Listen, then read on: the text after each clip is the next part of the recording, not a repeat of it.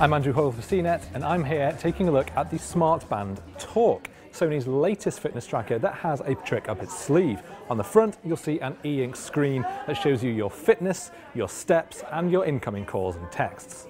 Now the band is designed ideally to work with Sony's LifeLog app. Now that app, as well as tracking your steps and your movement, can also track things like what you've been listening to or what you've been watching. It also tracks your sleeping, although the band, unlike its predecessor, can automatically know when you're asleep, so you don't have to tell it each night when you're actually going to catch some Z's. Now physically it's small, lightweight and it's also completely waterproof, so when you leave the gym and hit the showers you don't need to remember to take it off. Yes! It'll be in a range of colours as well, so if you're not keen on the white, you can go for this black and red one, which does stand out a bit more. The band has a built-in mic and speaker as well, so you can actually make and receive calls by just speaking into it.